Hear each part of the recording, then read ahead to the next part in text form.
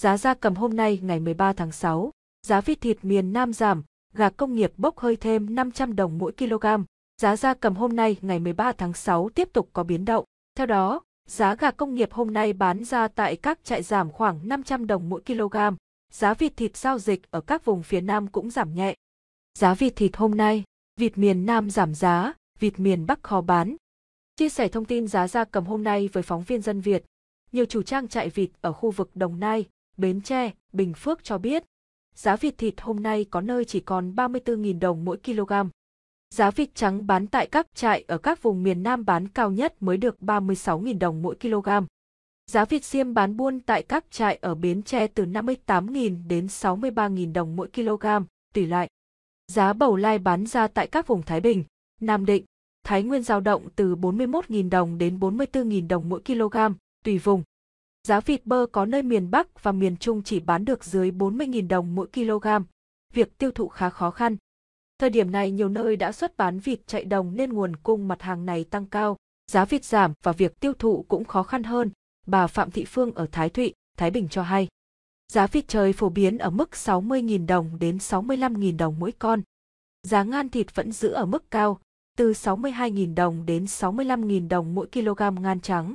Đối với hàng ngan già, có nơi bán được 66.000 đồng mỗi kg. Giá gà công nghiệp hôm nay, cao nhất đạt 28.500 đồng mỗi kg. So với ngày 12 tháng 6, giá gà công nghiệp hôm nay đã giảm nhẹ. Giá gà công nghiệp loại size trên 3,2 kg mỗi con bán buôn ở các vùng miền Bắc cao nhất đạt 28.500 đồng mỗi kg. Giá gà lông trắng dưới 3 kg mỗi con chỉ bán được dưới 26.000 đồng mỗi kg. Giá gà công nghiệp móc hàm bán xỉ đầu tấn khoảng 40.000 đồng mỗi kg đùi, cánh, hàng gà ước bán cao hơn đạt 45.000 đồng mỗi kg. Giá gà ta lò trên 100 ngày tuổi bán buôn xô đàn ở các vùng miền Bắc cao nhất đạt trên 50.000 đồng đến 55.000 đồng mỗi kg. Giá gà ta sơn Tây bán ở các vùng Hà Nội, Vĩnh Phúc từ 75.000 đồng đến 80.000 đồng mỗi kg. Giá gà Minh Dư bán buôn ở các vùng miền Trung và miền Bắc giao động trên dưới 70.000 đồng mỗi kg. Năm 2020, thịt heo nhập khẩu giúp hạ nhiệt giá heo trong nước thì thịt gà giá rẻ lại tàn phá ngành chăn nuôi gia cầm nặng nề nhất trong lịch sử. Chính thức khai trương kho đông lạnh công suất 70.000 tấn vào ngày 1 tháng 1 vừa qua, ông Dương Ngọc Minh, Tổng Giám đốc Công ty Cổ phần Hùng Vương, cho rằng ngày chính thức khai trương đã có 50% kho được sử dụng để chứa hàng của khách đặt trước. Trong vòng 2 đến 3 tháng tới, toàn bộ công suất kho cũng được lấp đầy do nhu cầu trữ đông hàng hóa tại Việt Nam rất cao.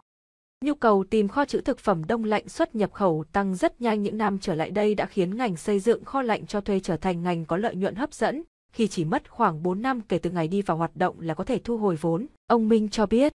Theo các công ty kinh doanh thực phẩm, lượng thịt nhập khẩu trong năm 2019 và 2020 đã tăng lên nhanh chóng, bên cạnh khoảng 200.000 tấn thịt gà mỗi năm. Năm 2020 còn có thêm nhiều thịt heo và bò nhập khẩu. Nhiều thời điểm hàng về đến cảng nhưng không tìm được kho chứa nên doanh nghiệp giảm giá sâu để bán ngay. Có những thời điểm giá thịt gà bán ra chưa tới 15.000 đồng mỗi kg trong khi giá thành trong nước 23.000 đến 24.000 đồng mỗi kg, gà lông. Heo nhập khẩu đã giúp hạ nhiệt giá heo hơi trong nước từ mức cao nhất 100.000 đồng mỗi kg xuống 65.000 đồng mỗi kg vào tháng 10 năm 2020, nhưng đồng thời cũng tạo ra cơ hội để các nước xuất khẩu tìm cách thâm nhập sâu hơn vào chuỗi giá trị này tại Việt Nam. Một mặt hàng khác là thịt bò cũng có mức tăng trưởng cao do trong nước không đáp ứng đủ nhu cầu. Ông Tống Xuân Trinh, Phó Cục trưởng Cục Chăn nuôi, cho biết trong 11 tháng đầu năm 2020, Việt Nam đã nhập 517.904 con trâu, bò, 91,5% là bò với trị giá hơn 556 triệu USD cho mục đích giết mổ lấy thịt. Cũng trong 11 tháng đầu năm, Việt Nam nhập 80.124 tấn thịt trâu, bò đông lạnh, trị giá 295,9 triệu USD. Nếu như nhập khẩu thịt heo, bò đáp ứng phần thiếu hụt nhu cầu trong nước, qua đó giảm giá bán lẻ tới tay người tiêu dùng thì việc nhập khẩu thịt gà đã góp phần làm ngành này thiệt hại nặng nề nhất trong lịch sử chăn nuôi. Theo các trang trại chăn nuôi gà, nguyên năm 2020 người nuôi gà đều lỗ khi giá gà nhiều lúc giảm còn 13.000 đến 14.000 đồng mỗi kg và tính trung bình hàng tháng không tháng nào vượt qua giá thành sản xuất.